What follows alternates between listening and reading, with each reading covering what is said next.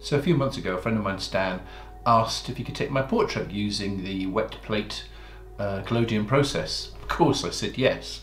And uh, this this little video I'm going to show you or share with you is um, just a recording of the day, the process, what we did, and just a sort of behind the scenes look.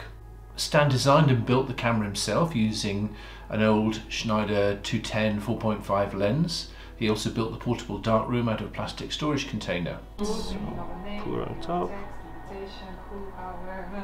on corner two. Collodion is basically a weak organic glue that's ideal for coating stable surfaces such as glass or metal for photography.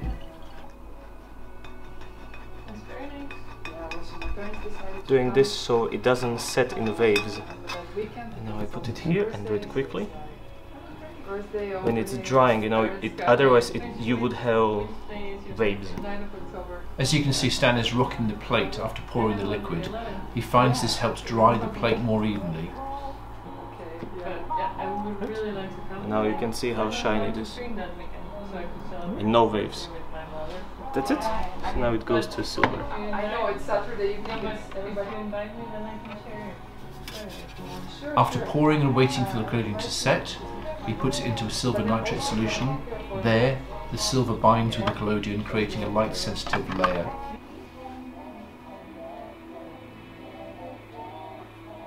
Alright. Perfect. Now I'm gonna close the lens. Don't worry, it will not flash. Now I'm gonna change it to time.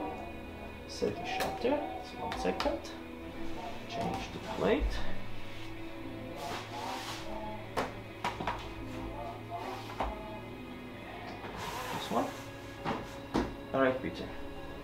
Blink with your eyes. Open eyes. That's it.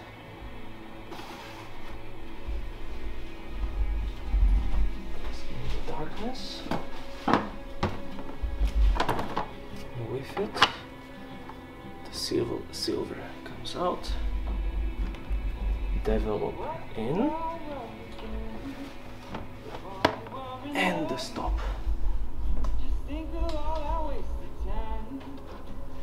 Which is just water. Alright, that's it. Plate, developer. Now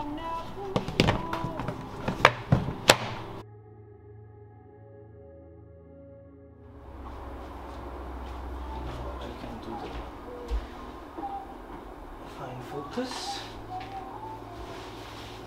You know what? So I don't forget. Just gonna do it now. Should I do, is this? I No, I don't think. think you would be. Do it again? No, you're just bunching yourself up. I think we can just try straight on portrait again. Alright, if you can stay like this, this will be perfect. I'm gonna be quick. This is set. Cock the shutter. Give it a tabby tabby.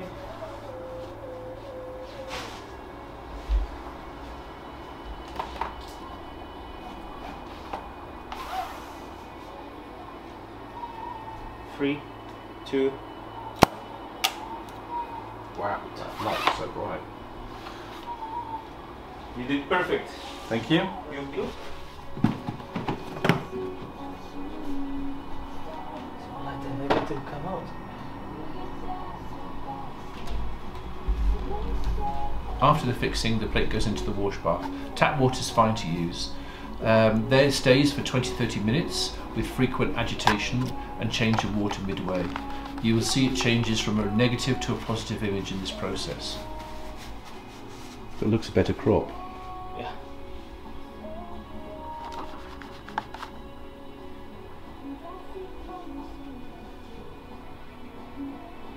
Come on.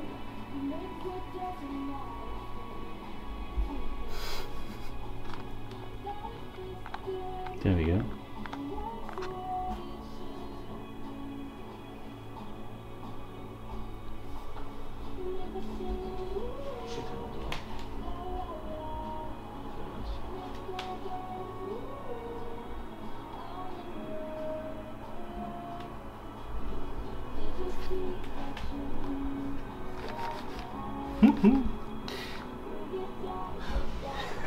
you look so annoyed. oh, I do.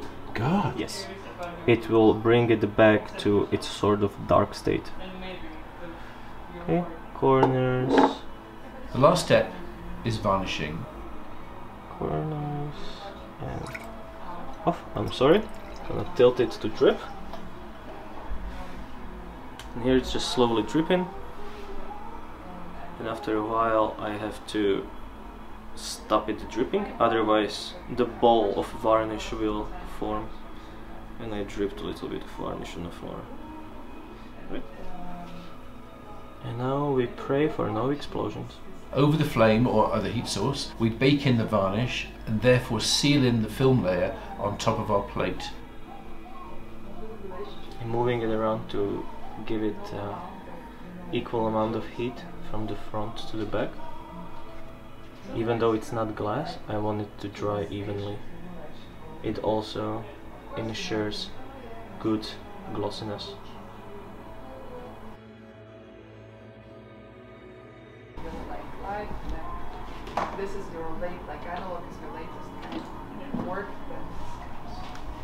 Great. Also negative looks very fine. yeah, so she was also helping me to select pictures. Yeah. It's actually very helpful when you have some good like, experience. Yeah, yeah, and I trust you know, information. I'm easy to let go of uh, my own opinion. uh, Like, I trust the. So that's like her. the cropping looks better. It looks much closer. And then I'm like, okay, I trust the confidence. It is, but not too much. If you like Yeah. picture, even personally, maybe I would choose that picture. But okay. Might have slightly overdeveloped it.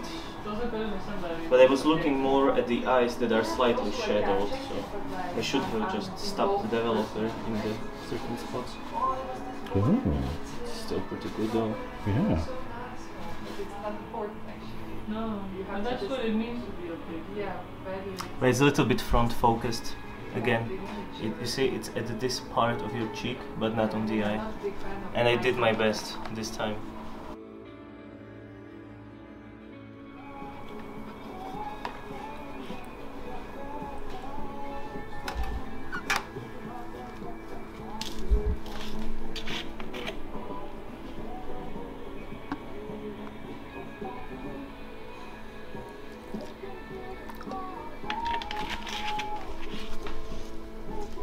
This is awesome. Oh, that's better. Much better.